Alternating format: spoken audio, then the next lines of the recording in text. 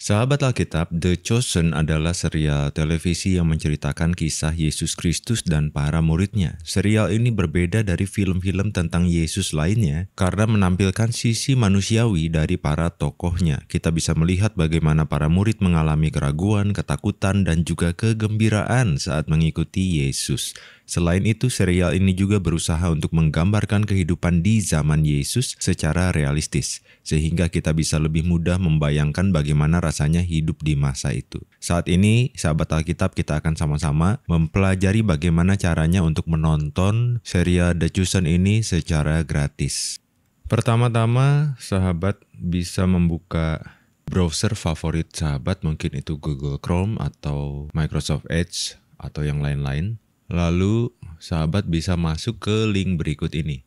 watch.thechosen.tv Sesudah masuk, sahabat bisa melihat bahwa website ini penuh dengan materi tentang The Chosen, bonus-bonus yang ada di dalamnya, lalu juga toko dan kisah-kisah di balik The Chosen ini yang dibahas oleh para ahli. Baik langsung kita akan mempelajari bagaimana caranya menonton season atau musim yang ada di The Chosen. Kalau sahabat belum pernah menonton ini, sahabat bisa mulai dari season pertama. Dan di sini ditulis all the seasons always free. Jadi betul-betul gratis.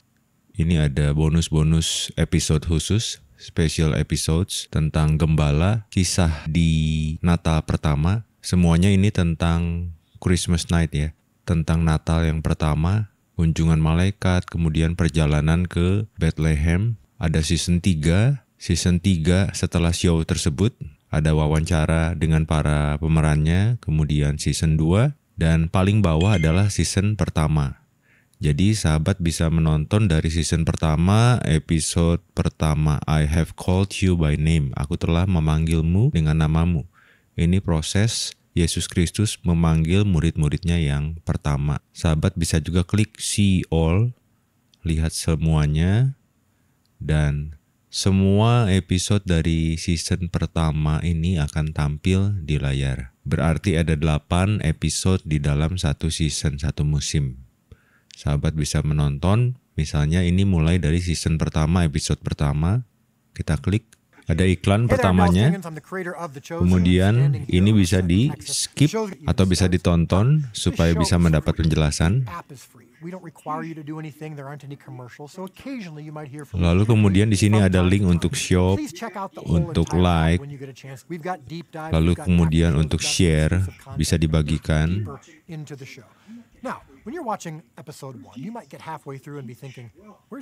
Kalau ingin langsung menonton, klik skip. Dan teman-teman akan dibawa ke filmnya langsung. Perlu diperhatikan di sini ada tombol untuk menonaktifkan suara, menaik turunkannya, slidernya juga bisa dipilih. Jadi The Chosen ini berdasarkan kisah nyata Injil Yesus Kristus. Kemudian di roda gigi ini ini adalah setting bisa dipilih, pilih quality-nya mau quality secara auto otomatis atau 1080 pixels atau 720 pixels dan seterusnya. Biasanya kami memakai 720 pixel supaya tidak terlalu berat. Kemudian ada sisi ini terjemahan dan bisa dipilih mana yang paling cocok dengan sahabat. Kami pilih bahasa Inggris. Adakah bahasa Indonesia? Kita akan lihat. Oh, ada. Ada juga bahasa Indonesia. Jadi jangan khawatir, walaupun kita tidak mengerti bahasa Inggris, mungkin kita bisa menontonnya di dalam bahasa Indonesia. Nah, semoga ini jadi berkat buat rekan-rekan semua. Kita bisa full screen juga dan menontonnya dengan nyaman. Tuhan Yesus mengasihimu. Thus says the Lord who created you, O Jacob.